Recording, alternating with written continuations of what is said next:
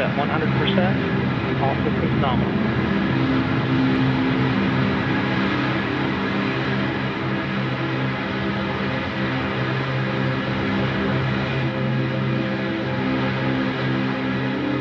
Stage 1 continues nominal performance. Engines at 100%. Good, good core pressures. Main engine cutoff. We have Miko, and Terry's entering into a coast stage. Fairing separation will occur about 30 seconds later. As we lose sight of the vehicle, now switching to animation. Some controlled firings uh, on the interstage of the rocket. Attitude nominal. Good separation.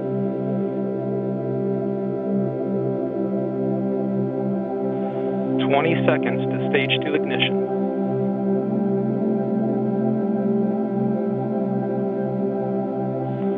Subsystems nominal. Fairing separation.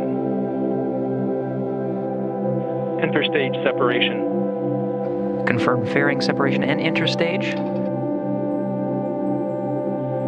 Stage two ignition.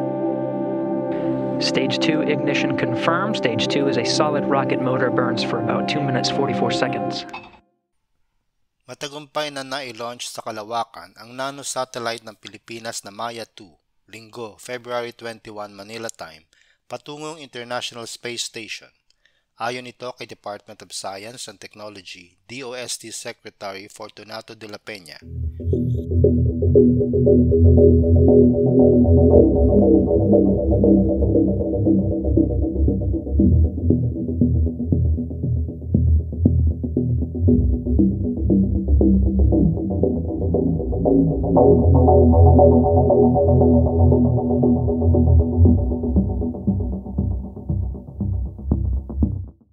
Ayon kay De La Peña, nailunsad ang Maya 2 kasama ng mga nano-satellites ng Japan at Paraguay sa NASA station sa Virginia sa Estados Unidos.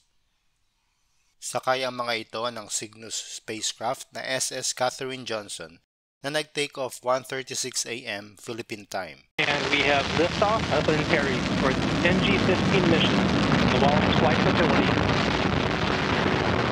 Engines are at 100%. Attitude, core pressures, and vehicle subsystems are nominal.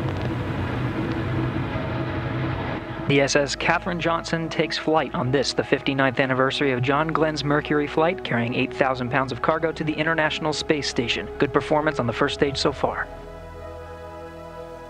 Sa isang Viber message, sinabi ni De La Peña na very proud ang DOST sa tagumpay na ito. Aniya, mula na mag-umpisa ang DOST sa Philippine Space Technology Development Program noong 2014, nakapaglunsad na sa kalawakan ng Pilipinas ng dalawang microsatellites na sa ngayon ay nasa orbit umiikot na sa kalawakan at isang nanosatellite naman, ang Maya 1.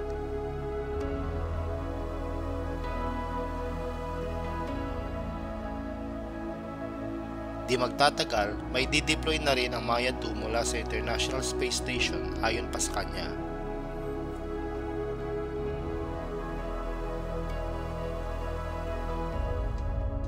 Ang programang ito ay sasailalim na sa pamamahala ng bagong tatag na Philippine Space Agency. Dagdag pa ni De La Peña, dapat maging proud ang lahat sa mabilis na pagsulong ng Pilipinas sa larangang ito Lalo't kung iisipin, nagsimula lang tayo dito noong 2014. Sinabi pa niya na maraming aspeto ng gobyerno ang matutulungan ng space technologies. Noong 2018, inilunsad ang Maya 1. Mayroon itong automatic packet radio service digipeater na kayang makipag-communicate sa mga ham radios. Meron din itong dalawang kamera na may wide angle at narrow angle lens upang kumuha ng mga larawan at record ng videos na magagamit sa mga pagsasaliksik o research. Ang Maya 2 naman ay sinubukang kabitan ng ibang antenna design at ginamitan ng ibang materyales ng solar panels kaiba sa mga pangkaraniwang ginagamit sa mga cube satellites na katulad nito. Ang nano-satellite na Maya 2 ay mangongolekta ng datos sa kalawakan at mayroon din itong camera upang kumuha ng mga litrato at videos.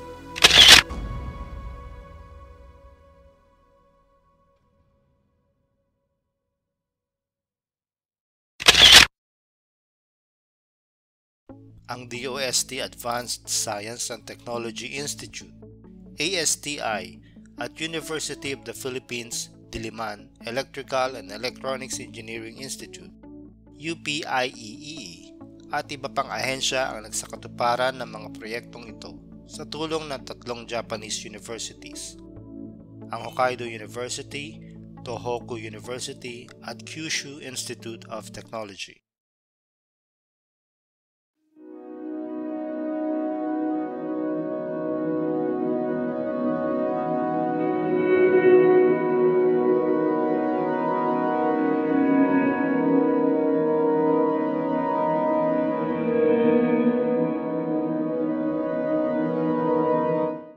Ayon kay De La Peña, ang mga kasunod pang microsatellites na Diwata 3 at Diwata 4 ay kasalukuyan ang ginagawa at nasa iba't ibang yugto na ng produksyon.